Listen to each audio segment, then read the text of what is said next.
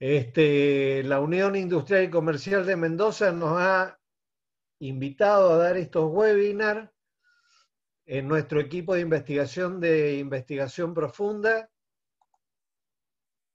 sobre herramientas de la industria 4.0 y tecnologías y aplicaciones prácticas en 3D. Mi nombre es Daniel Caballer. Mi correo electrónico, les dejo mi número de teléfono y sepan que he optado de fuentes varias para poder armar esta parte de tecnologías y aplicaciones prácticas en 3D. Lo primero que tengo para mostrar son los momentos históricos. El 3D se patentó en 1890 por William Fries Green, un fotógrafo e inventor inglés, quien fue el responsable de los primeros aparatos cinematográficos en Inglaterra. Año más tarde, Frederick Eugene Ives comenzó a utilizar una cámara con dos lentes de diferente color, rojo y azul. Un poco así se veían las películas, pero con un poco de cartón o cartón madera prensada, con un lente de color rojo y azul, se veía la profundidad de las películas, ya no en dos dimensiones. Hay una breve historia sobre el 3D y cómo funciona la tecnología, que parece novedosa y sin embargo tiene 100 años, pero en estos 100 años ha avanzado en las últimas dos décadas lo que no había avanzado en los 80 años anteriores. El fenómeno de 3D se basa en la idea de esteropsis, es que es un fenómeno de percepción visual que explica cómo si cada ojo captura una imagen diferente, el cerebro es capaz de recomponer a dicha imagen tridimensional, como en el caso de las películas. Las imágenes son proyectadas en dos capas y son las gafas las que hacen que un ojo vea que la imagen, eh, que eh, vea mejor la imagen o en distintos formatos, lo cual es muy sencillo si visualizamos los libros tipo 3D en rojo y azul. A pesar de que cada ojo ve una diferente imagen, el cerebro recibe ambas y recompone la imagen como si fuera una sola en 3D.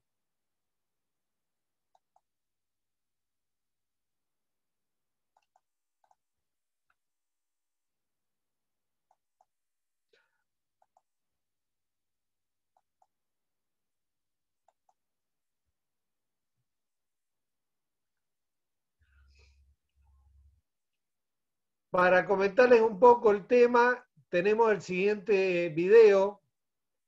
Es un video que muestra cómo teodolitos, mensuras y demás están trabajando por rayos láser. Todo el equipamiento de lo que es, con, se llama concerniente hoy al agrimensor, está trabajando bajo láser y en especial acá hay un láser que me gustaría destacar, que es este de acá, y el que se prende es un láser 3D. O sea, toma en las tres dimensiones, el láser en este caso se llama Leica, pero hay otras marcas de láser. El operador simplemente con la pantalla táctil conecta y define qué también se ve. Las personas que pasan, no importa, no las va a tomar, él va a tomar los ambientes. Por ejemplo, acá tenemos un ambiente eh, típico escolar con escalinatas hacia ambos lados y con un frisado. Acá tenemos desde la escalera hacia abajo y acá tenemos, esto es de Santo Tomás, así que el Colegio Santo Tomás tiene imágenes eh, religiosas. Eh, acá se está viendo cómo se llama los otros frisados, pero lo que está trabajando primordialmente son las capas para poder crear el ambiente tridimensional. El láser entonces está rotando sobre sí mismo y enviando a cada una de ellas una sensación que vamos a obtener nosotros luego como foto tridimensional. Acá se puede ver al operador ya una vez cargado con el láser. Esta es la imagen en el plano del, colegio, imagen plana. En cambio, esta imagen se va a ir conformando por capas y las distintas capas que lo van a conformar van a ser la altura, no solamente el espesor, sino también la visualización 3D como se ve acá, en este punto.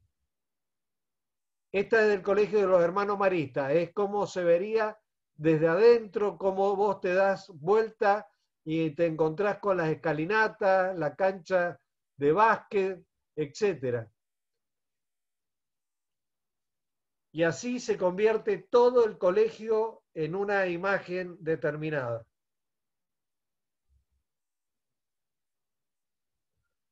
El escaneo 3D en la construcción termina siendo esto. Acá se ve una imagen escaneada en 3D y por lo tanto un arquitecto un ingeniero no es necesario que se traslade al lugar del trabajo para ver qué es lo que ya se ha hecho o lo que se está haciendo o modificando. En cambio, en esta hay un escaneo con un láser de mano de alta calidad sobre una pieza. Fíjense que la pieza va a rotar sobre su eje y un operador especializado va a escanear dicha pieza, que evidentemente es la parte de un motor, a medida que lo escanea, fíjense la pantalla, por favor, cómo las zonas verdes se traducen en azules y las azules ya son las zonas que quedan como moldeado del el trabajo. El modelado es el que queda en azul. Mientras esté en verde es porque no lo ha tomado correctamente. Entonces, el operador lo que puede hacer es rotar un poco la imagen sobre el mismo plato giratorio para que se pueda escanear los 365 grados de la imagen. Una vez que él escanee estos 365 grados de la imagen y lo vea todo en azul, tenemos como respuesta un modelo tridimensional de la pieza de ensamblaje, que luego podrá ser colocada dentro de una caja eh, de estampado y con el material fundente lograr la pieza que se quiere obtener. O bien se puede trabajar con impresoras de 3D. ¿Me lo puedes pedir otra vez? Me temo que no. Las impresoras de 3D también pueden lograr que esta pieza salga tal cual como la queremos, con un fundente que puede ser un, eh, un plástico especial o puede ser un material. Hoy en día las impresoras 3D pueden trabajar hasta materiales de distinto tipo, ¿no? Aleaciones, etcétera.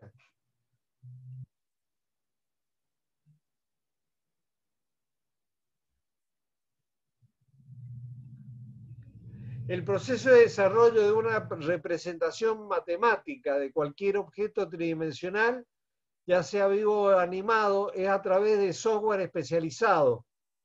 O sea, necesitas un programa de CAD. Al producto se le llama modelo 3D. Se puede visualizar como imagen bidimensional mediante un proceso llamado renderizado del 3D o utilizar una simulación por computadora de fenómenos físicos y el modelado también se puede crear físicamente usando dispositivos de impresión 3D. Los modelos pueden ser creados automáticamente o manualmente en el proceso según cómo se prepare la información geométrica. Si, si la impresión es 3D, es similar a las artes plásticas o la escultura.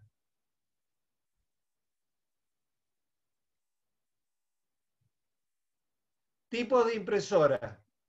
Teniendo en cuenta los tipos de impresora 3D son estereotilografía, SLA, sinterización selectiva por láser, impresora 3 por inyección, que es propiamente también de la primera, y la impresión por deposición de material fundido, que se va a ver más abajo. La de material fundido es esta que está acá, las otras corresponden a la de láser, ya sea por inyección o sinterización selectiva. Acá vemos una, como la cama donde va a ir el líquido se desajusta. Lo que se va a colocar ahí es el fundente, que es un polímero. Nos muestra lo sencillo que es utilizarlo. Arriba, como se llama, es una placa vertical que le da calor también para que no se, el fundente no se, eh, le da calor y la va enfriando para que el fundente no se quede ahí atascado. Eso que están viendo es las partes de la luz que atraviesa a la cámara donde se colocará el líquido y que es por eh, luz eh, fluorescente. Se llena la cámara con el líquido o la resina en este caso, y a medida que baja la cama, lo que se quiere obtener es una imagen como la que sale en la pantalla y en forma rápida, en forma veloz, estamos sacando la pieza que ya teníamos colocada en la computadora. Ahí se ve perfectamente cómo se va armando la pieza y lógicamente sigue cayendo un poco de fundente, pero a esta pieza hay que quitarle las eh, esquirlas que tiene, que son de no haber, eh, de no haberse generado correctamente todo el fundente. Eso se, se saca con un clip directamente o se raspa un poquito. Ahí está sobre la cama, hay que tocarlo un poquito la pieza y automáticamente sale como lo que había mostrado al principio. En cambio, esta impresora que tengo acá es una impresora láser que lo que tiene de bueno es que no importa el polímero que usted utilice, le va a ir generando capa por capa una tras otra hasta llegar al final de la pieza. Y se ve cómo va subiendo y bajando el láser para poder generar las capas, las distintas capas.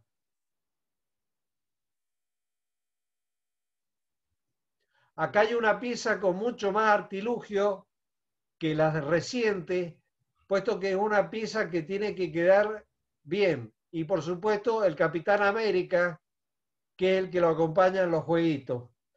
Esa está hecha. También algunos jueguitos de, de tanques.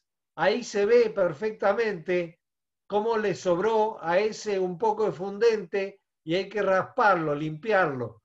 Pero queda luego de este otro color, lo mismo que la torre esta, una vez que se realiza la torre esta, se le echa una capa de, eh, de resina o se pinta según el color que se quiere obtener del acabado. Esta es la que está con acabado y la que mostramos recién es la que está sin el acabado. O sea, no ha sido esmaltada. Esta pieza sí, está esmaltada. De lo otro que tenemos que hablar es de piezas complejas como esta que está acá. Si no fuera por la impresora SLD, SLDA no se podrían lograr. Fíjense cómo quedan los pelitos. Hay que sacarlos los pelitos después. Para lograr una pieza como la que se quiere, que es esta que está acá, que ya está esmaltada. Se les quitaron los pelitos y se esmaltó la pieza.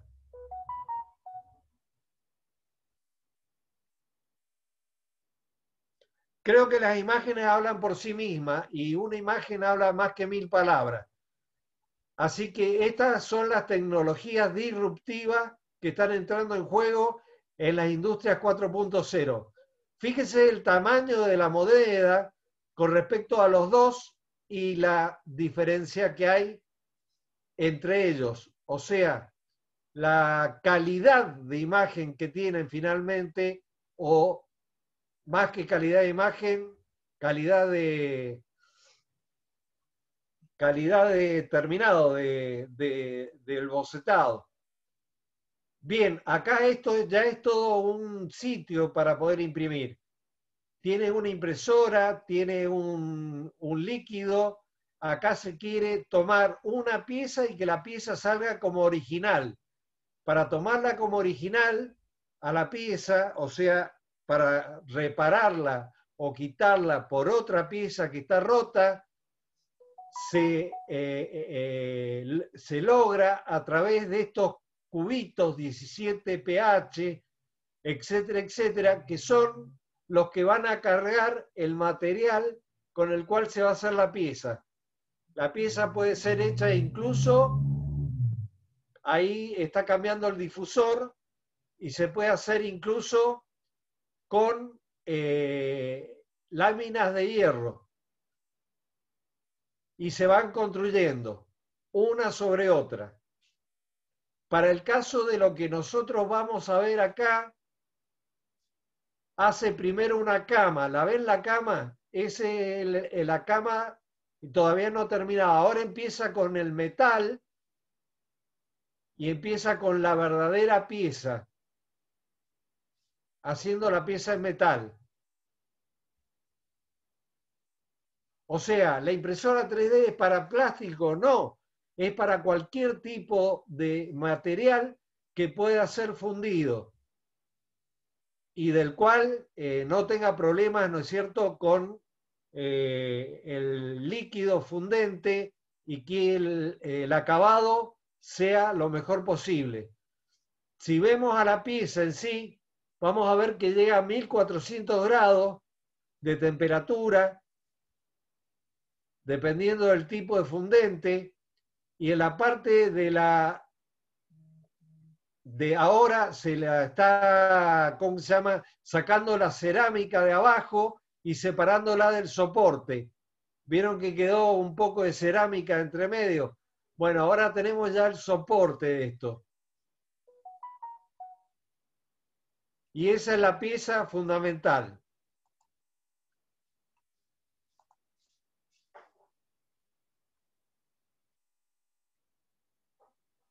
Ahora vamos a ir a otro tipo de, de, función. Esto ya es con hilos o membranas hilados de distintos tipos, simil madera, como este que está acá, este que está acá con una diversidad totalmente distinta que permite hacer, hacer cosas que, bueno, realmente son extraordinarias.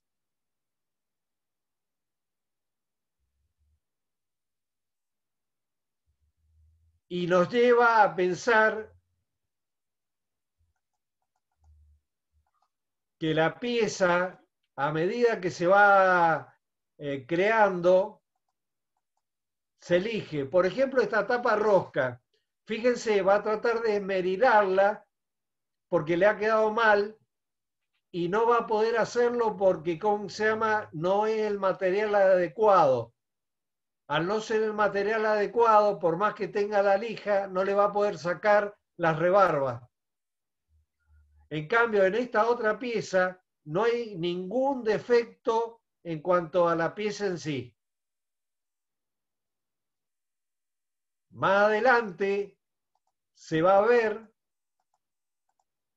cómo otras dos piezas quedan perfectamente iguales, trabajadas de la misma forma y con la misma terminación.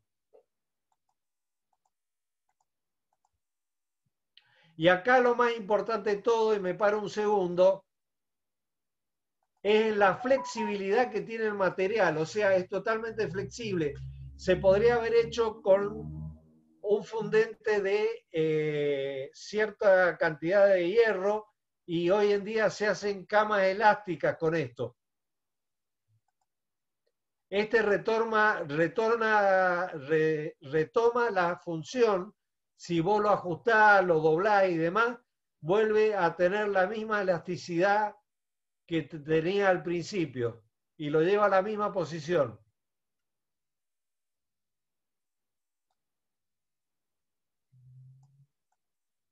Acá tenemos dos cuerdas que se están marcando y lo más importante, le hizo un logo a una empresa y eso es para que pueda abrir una canilla para tirar algo, cerveza, whisky, no sé. Imagínense lo que quieran ahí. Esa es bastante interesante. Lo mismo va a hacer, se enroca solo aparte. Ahí ven la parte de un brazo eh, todo con articulado. Y esta es interesantísimo, porque ¿quién se imaginaría que se puede hacer los taquitos de cerveza para la colada de cerveza y ponerle el logo de la empresa encima?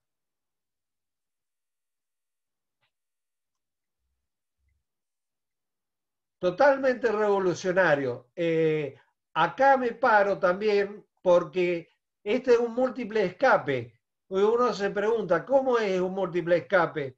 Y bueno, la pieza se puede hacer en aluminio también o con cualquier otro material.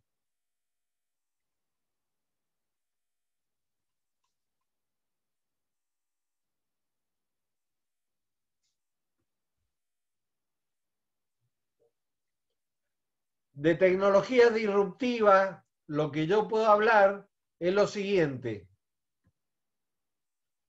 Acá ven ustedes cómo están todas las piezas y la cama de las piezas.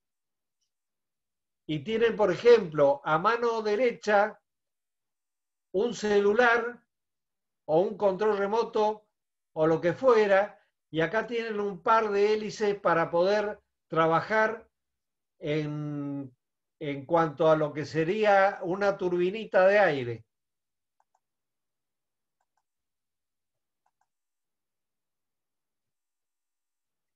FMD son siglas que eh, suponen el modelado por deposición de material fundido.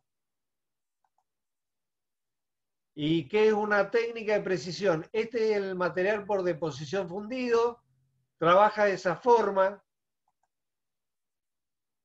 Lo otro que tenemos es una segunda, o sí, segunda eh, fase de realidad aumentada. ¿Qué es la realidad aumentada? Bueno, la realidad aumentada es la que se usa para describir un conjunto de tecnologías que permite a un usuario visualice parte del mundo real a través de un dispositivo tecnológico con información gráfica añadida a este. El dispositivo o conjunto de dispositivos añaden información virtual a la información física ya existente. Es decir, una parte virtual aparece en la realidad. Y de esta manera los elementos físicos tangibles se combinan con elementos virtuales creando la realidad aumentada en tiempo real. ¿Qué es realidad aumentada? La realidad aumentada es esto que tenemos acá, entretenimiento, publicidad, gastronomía, información, turismo, medicina, seguridad, investigación policial, literatura.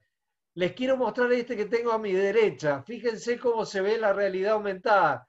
Le dice a cuántos metros está cuál es su norte o su, o su punto objetivo, a cuánto está del norte, cuál es el camino a seguir.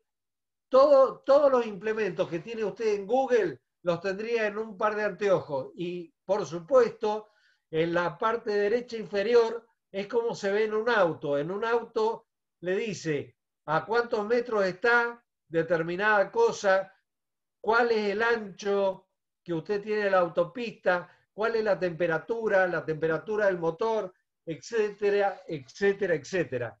Y este bebito llorando no está llorando porque acaba de nacer, sino porque ha sido sacado de una ecografía 4D.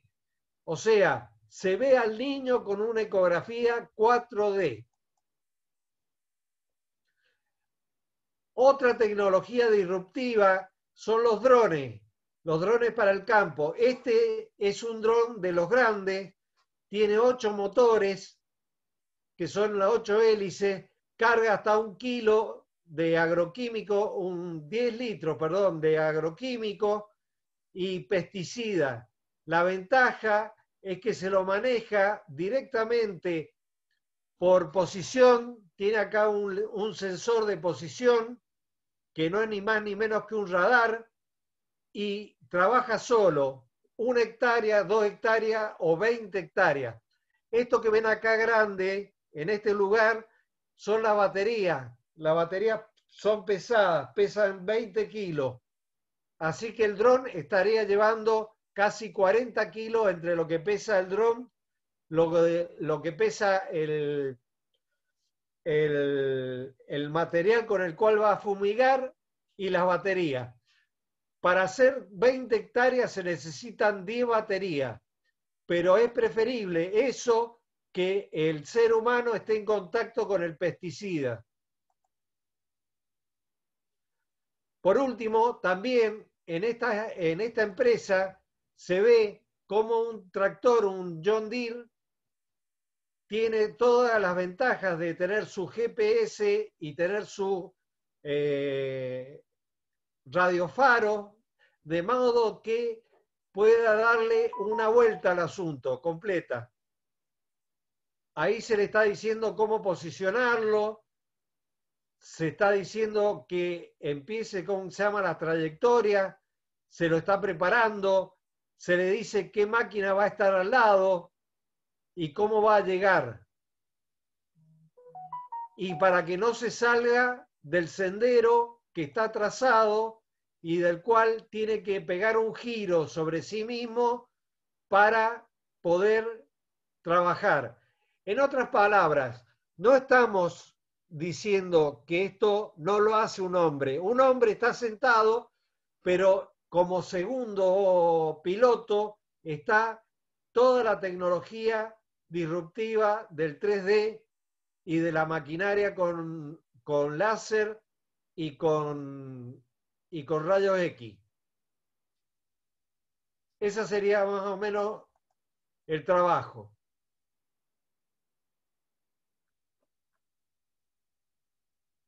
Y ahora les presento esto.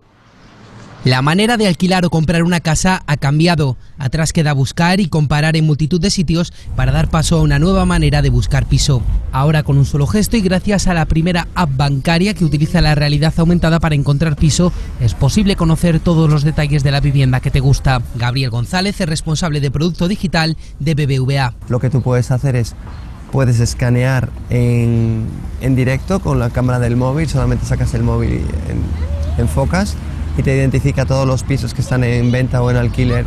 Todo gracias a la aplicación BBVA ValoraView, que ha incorporado este escaneo para que cualquier persona, sea o no cliente de la entidad financiera, pueda buscar casa mientras pasea por el barrio que le gusta puede escanear y buscar lo que le interesa. Desde la aplicación se pueden elegir pisos para comprar o para alquilar, ya que se muestran todos los inmuebles que están dados de alta en el portal web Idealista. También ver las características del mismo, sus fotos, guardarlos en tus favoritos o añadir notas sobre el barrio o la vivienda. Si tú estás escaneando, buscando viviendas, aparecen los testigos o no, o ves una casa que te gusta, puedes sacar fotos puedes añadir notas de pues cerca hay un colegio o un barrio con muchos comercios. Una herramienta que acaba de lanzar BBVA y que acompaña durante todo el proceso de búsqueda. Permite simular la cuota de una posible hipoteca para el piso elegido e incluso solicitarla desde la propia aplicación, haciendo más sencillo el proceso y aconsejando sobre los precios de la zona. Bueno, esto es extraordinario, ¿no? Porque ya está metido un banco de por medio. Así que ahora, si me permiten, les voy a dar una visión de videojuego, eh, que es realidad aumentada. Ahí tienen la realidad aumentada a través de los Glaze y acá a través de lo que serían de lo que serían los visores. Estos son más baratos que estos que están acá, evidentemente se utilizan para la moda, para comprar pisos, reformarlo, amueblarlo, logística, transporte, industria, para todo eso. Y por último les voy a dar acá un... Las Apple Glass, las gafas inteligentes de Apple, están más cerca de lo esperado. Te explico toda la información que se sabe sobre ellas. Si eres un aficionado a las nuevas tecnologías, habrás visto en muchos canales de YouTube y medios especializados que han hablado del nuevo gadget de los creadores del iPhone, las Apple Glass. Well, how about uh, Apple's AR glasses, huh? Pues bien, gracias a un filtrado de YouTube, John Prosser, conocemos casi toda la información posible de las gafas de Apple. Para quien no lo sepa, John Prosser, deciros que es un youtuber que en los últimos meses ha conseguido ganar mucha popularidad gracias a que ha filtrado todo sobre los últimos productos de Apple y lo ha acertado todo. No sé cómo, pero este chico tiene información privilegiada del próximo One More Thing de Apple, y lo mejor de todo es que lo ha hecho público en su canal de YouTube. Así que vamos a repasar toda la información disponible de las Apple Glass que ha filtrado John Prosser. Pero yo voy a ir un paso más allá y vamos a ver con más detalles y a través de patentes cómo serán las gafas inteligentes de Apple. ¿Cómo funcionarán las gafas inteligentes de Apple? Todavía es pronto para descubrir realmente cómo funcionarán. Lo que está claro es que las gafas no llevarán su propia GPU como las Google Glass, al menos en esta primera versión. Todo el procesado y encargado de mover lo que después se proyectará en las pantallas de las lentes de Apple lo hará el iPhone. Esto es algo parecido a lo que pasó en su día con la primera generación del Apple Watch. Lo que está por ver es si las gafas irán conectadas al iPhone vía cable o vía conexión inalámbrica desarrollada por los chicos de Cupertino. Si la conexión es por cable, me viene a la cabeza que el funcionamiento de las gafas inteligentes de Apple será similar a la de las Smart Glasses de realidad aumentada del fabricante Enreal Light, las Light Glasses. Si no las conocéis, os animo a que veáis el vídeo que realicé en su día.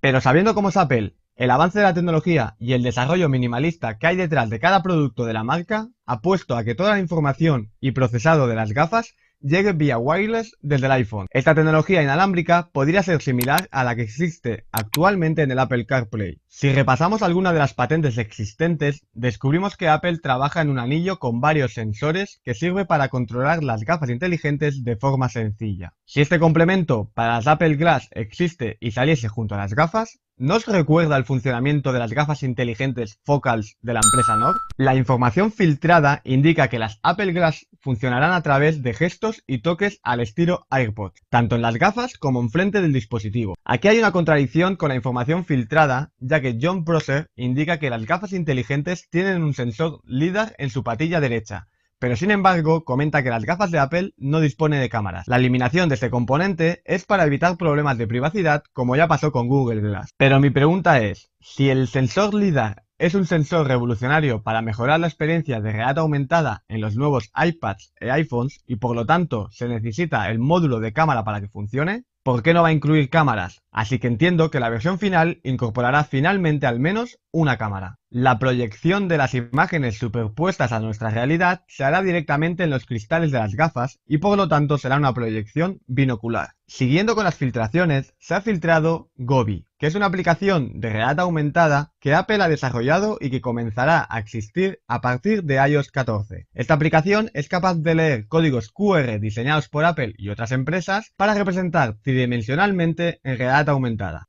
Esta aplicación podría ser útil en las Apple Glass, aunque todavía no se sabe muy bien cómo funciona. Siguiendo un poco con el funcionamiento de las Apple Glass, vemos que su interfaz se llama Starboard, y tal y como ocurre con el Apple Watch, que tiene su propio sistema operativo, el Watch OS, Las gafas inteligentes de Apple también tendrán su propio sistema operativo. Lo que sabemos de él es que lo llaman ROS y por supuesto tendrá compatibilidad con los controles de voz mediante el asistente artificial Siri, el cual, no es de extrañar, reciba una gran actualización con la llegada de las Apple Glasses. ¿Cómo será el diseño de las gafas de Apple?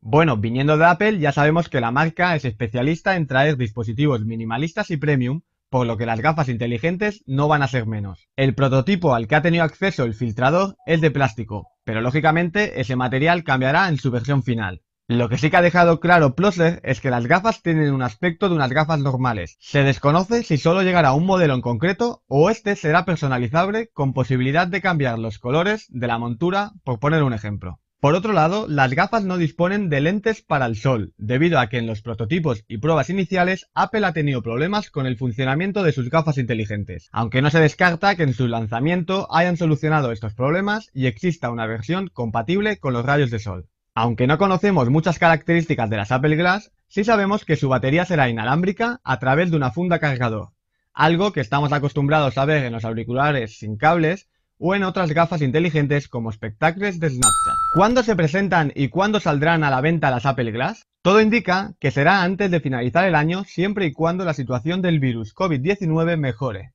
Es decir, que si todo va bien, podríamos tener un One More Thing en la presentación del próximo iPhone 12 que será en otoño. Si no, también se baraja otra fecha y es la posibilidad de presentar este dispositivo a principios del próximo año 2021. Las fechas de su posible salida al mercado están marcadas en el calendario para final del 2021 y comienzo del 2022.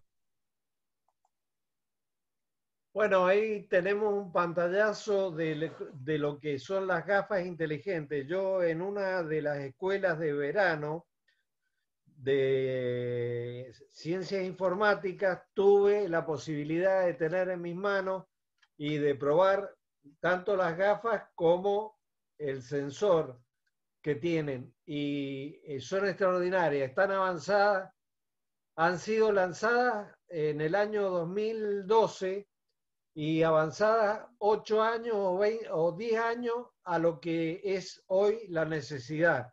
Por lo tanto, yo pienso que estas gafas van a venir con un montón de aditamentos nuevos que nos da esta parte de realidad virtual.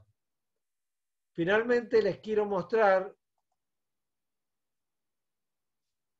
perdón, otra tecnología que se llama holografía táctil. está compuesta por dos espejos cóncavos que se ven acá y acá.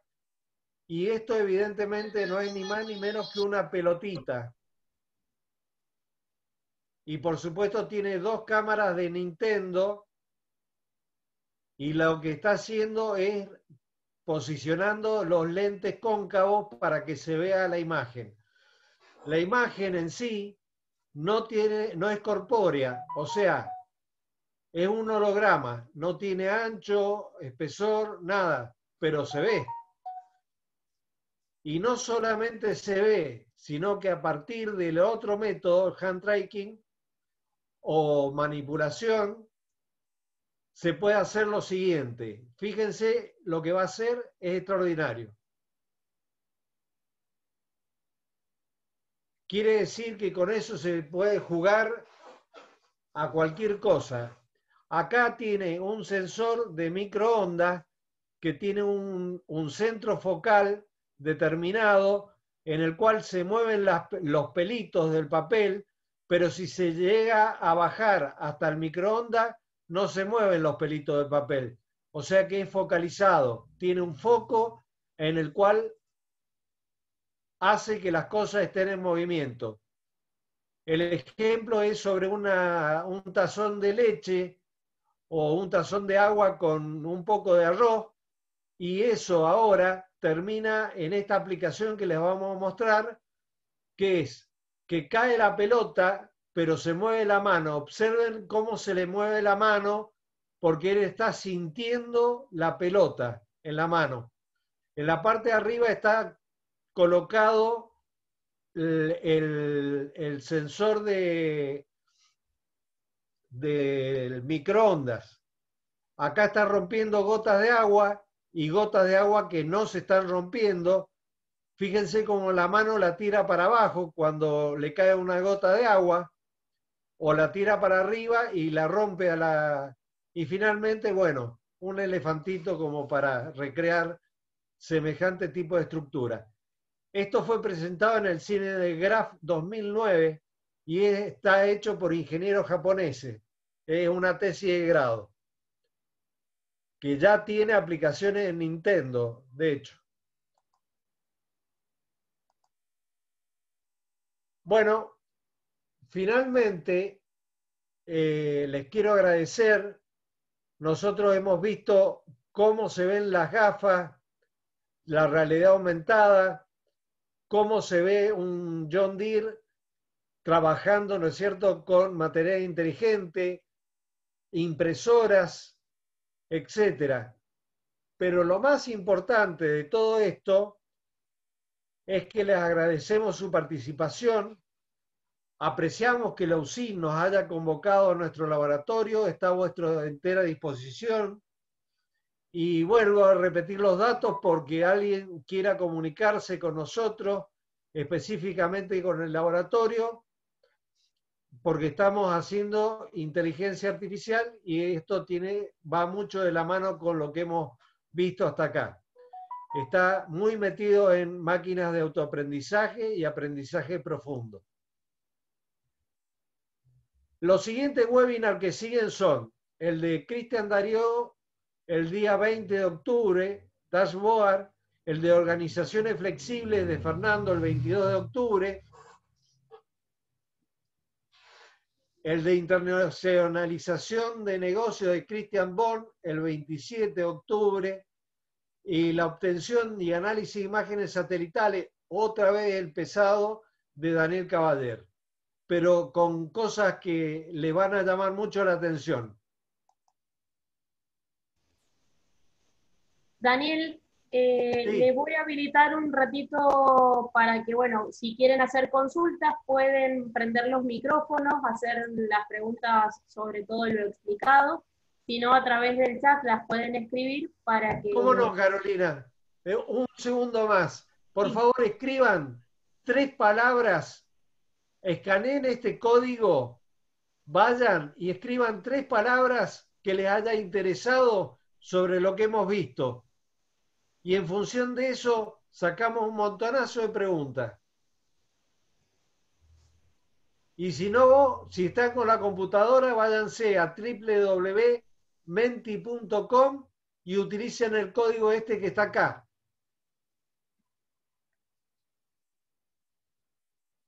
Tres palabras de su interés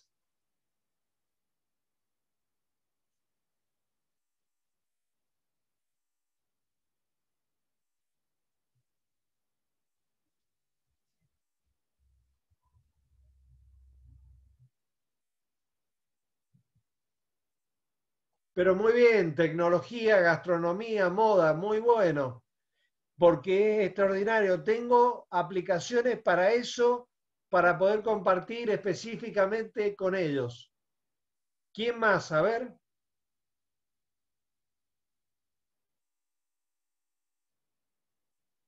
¿Hay alguno otro?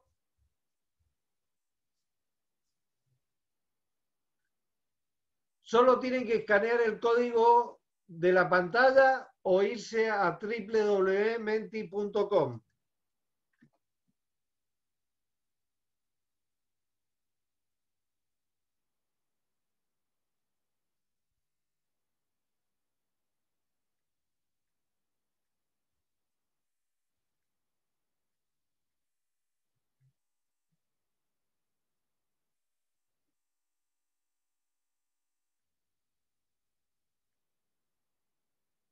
Pero muy bien, ahí está saliendo. Esto maneja almacenes, sí señor.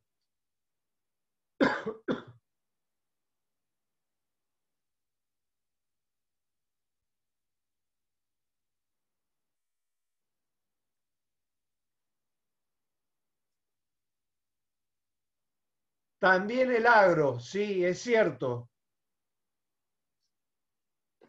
Y lo bueno es que las inversiones monetarias no son tan altas para comprar una impresora y salir a hacer eh, trabajo con impresora 3D. No son tan altas.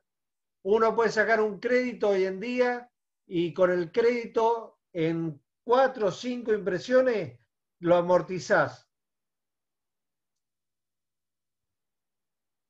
Para quienes estén en la, en la parte de la agroindustria, tener un dron de estas características es extraordinario porque va de la mano vitivinicultura. Eso estaba pensando. No puede faltar acá. Las bodegas. En las bodegas tener, eh, tener, ¿cómo se llama? Los lentes con realidad aumentada puede hacer, pero terrible las cosas, porque le puede dar a cada uno de, de los, ¿cómo se llama? Eh, de los de los atriles, eh, ¿cómo se llaman los, los que contienen el vino? Le puede dar una denominación. Esto es Malbec, aquello es tal cosa, etcétera, etcétera. Bueno, paso a la próxima, por favor. Acá hay una sola que tienen que hacer.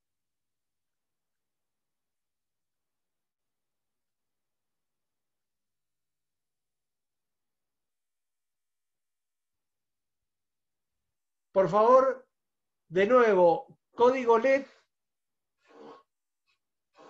el código Q, perdón, o ir a menti.com con la clave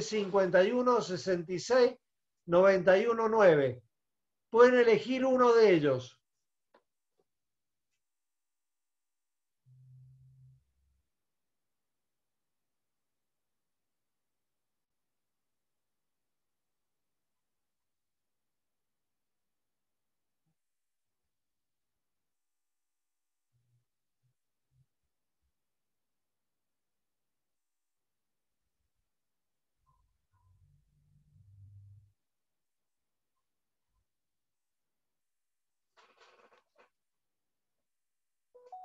Muy bien, excelente. Bueno, gracias. Creo que le ha gustado la presentación.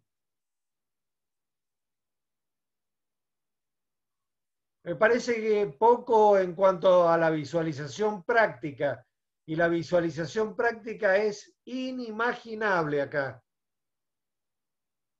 No sé si hay algún comentario más. Te damos la palabra, Jessica. Todo tuyo. Voy a descompartir el, área. Carolina, perdón. Daniel, sí. Em, le leo algunos de los, de los comentarios en, el chat. Em, muchísimas gracias, muy interesante la información brindada. Muchas gracias, bueno, Ausim, información muy interesante. Em, Preguntan por ahí qué es un dashboard, que es un tablero de comando. es un eh, tablero de comando, pero nosotros dashboard es algo que va a mostrar Cristian, es una locura, eh, es extraordinario eso. Sirve para las empresas, la microempresa, para llevar todo. Lleva eh, correlacionado dentro los KPI y los KPI son básicamente indicadores de funcionamiento de determinadas cosas.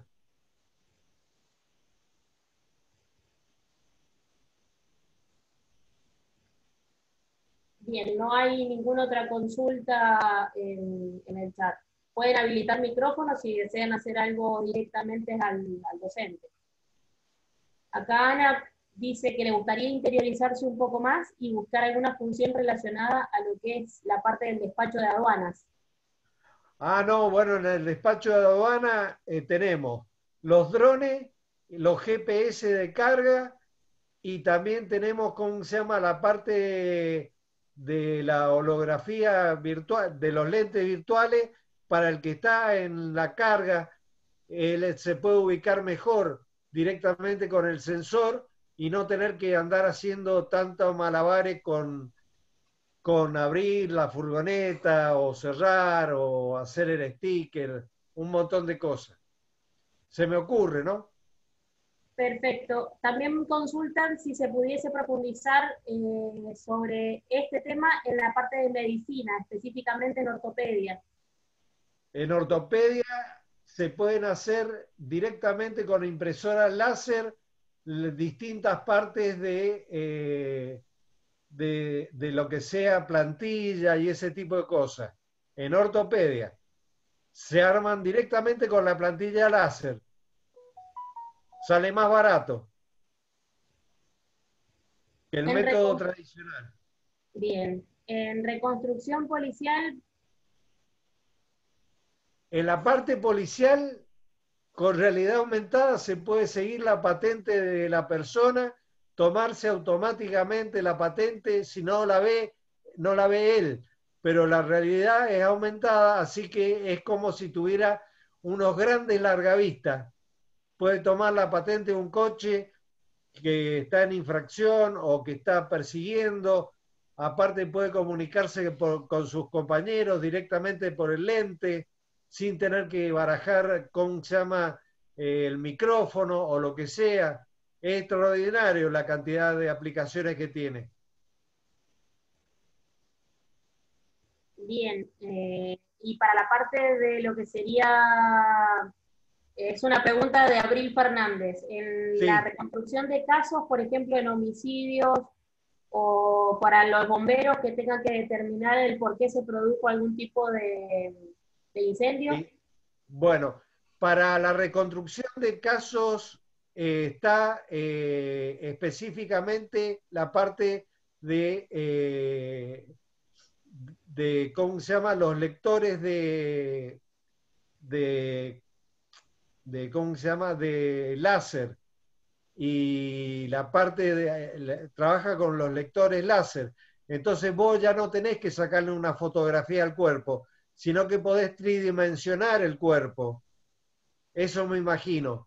Respecto de los bomberos, yo creo que ¿cómo se llama? tiene una aplicación no solamente en el parabrisa de, de la autobomba, sino en la direccionalidad y en, la parte del GPS, principalmente la parte de GPS, que es una de las tecnologías nuevas que, eh, disruptivas que está desde hace unos años.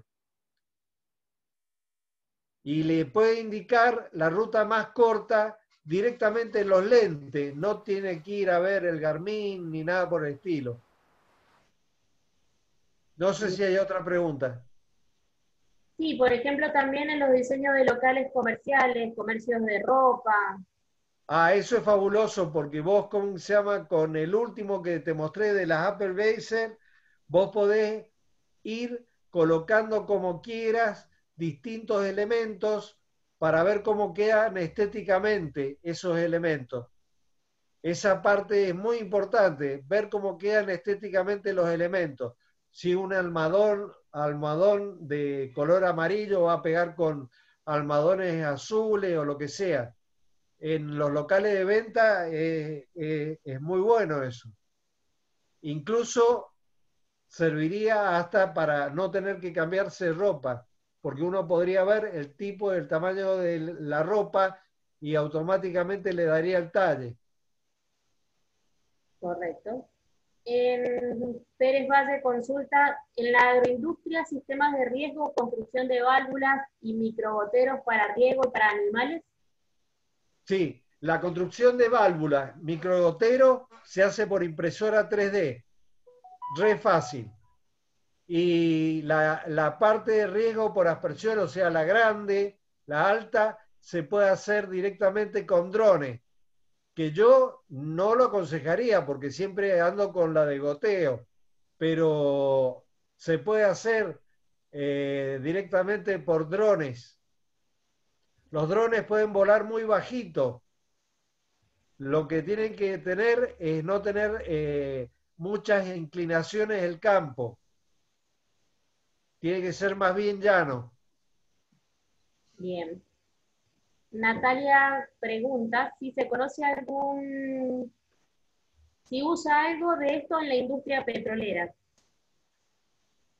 La industria petrolera está usando en lo que es perfilaje la parte de, eh, ¿cómo se llama?, de la sonda. O sea, ellos ya tienen la parte de la sonda hecha. En la parte petrolera en sí, yo no he visto una aplicación. Habría que buscarla. Ahí sí yo no he visto una aplicación. Pero me imagino que cualquier válvula que vos tengas que cambiar y la necesites urgente a, esa válvula, la podés sacar con una impresora de fusión.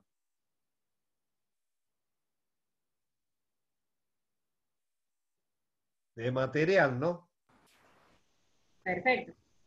Ana pregunta si ella tiene eh, ganas de interiorizarse con respecto a la idea de lo que sería local comercial, si se puede contactar con usted a través de algún mail o teléfono. Sí, sí, yo lo puse el mail en la pantalla, eh, lo vuelvo a compartir si no molesta, está ahí el mail de caballer, come corta, arroba hotmail.com. Es caballer come corta. No sé si lo pudiste tomar. Esa es la parte nuestra. Bien. Institucionalmente tenemos un laboratorio de investigación, pero no le hemos puesto todavía el correo electrónico, disculpame. Perfecto, no hay ningún problema. Cualquier cosa también se pueden comunicar a través de USIM, nosotros le pasamos el contacto. Sí, aparte, por supuesto. Eso es más valorable se comunican con USIN y nos, nos hacen la pregunta o la propuesta. Perfecto. Si no hay ninguna otra pregunta, eh, de mi parte quedo en agradecer eh, la información, la exposición, todo lo que nos ha comentado hoy día. Ha sido muy valorable para bueno, aquellos que tienen una empresa o institución, organización que deseen ampliar su, sus herramientas, esto es fantástico. Sí, es fantástico. Realmente, Carolina, es fantástico por, eh, porque si vos podés entrar a ver un apartamento antes de que haya sido construido, podés decidir si lo querés o no lo querés. Y eso es muy importante, haciendo un recorrido virtual. Sí, sí, sí, eso fue uno de los detalles que más me llamó la atención. Bien, Daniel, entonces ha sido un placer eh, escucharlo y bueno, apreciar su, su, presentación. Espero. Abril, Abril Fernández tiene la mano levantada, no sé si ella quiere hacer alguna consulta. Bien, si quiere habilitar el micrófono. Abril, no sé si es que levantaste la mano porque te equivocaste o, querés hacer alguna consulta. Bueno. Ah, fue un error. Bueno, perdón, gracias. Eh, gracias, Abril. Eh, no, nada, tuyo, Carolina. Te agradezco mucho el espacio. Bien, como le decía entonces... Son cosas que la gente no sabe y están en el mercado. Sí, por supuesto, y van a poder apreciar este webinar en el canal de YouTube de la Unión Comercial Industrial de Mendoza. Eh, seguramente en breve, en menos de una semana, ya va a estar eh, en, el canal disponible. Eh, así que bueno, yo le agradezco de parte de Jim, de parte mía, la presentación, ha sido excelente la información y muy, muy, muchísimas gracias. Bueno, muy amable. Los despido a todos con salud y que estén todos bien en vuestras casas. Saludos a vos, Carolina, y muchas gracias. Porque que tengan todos muy feliz tarde.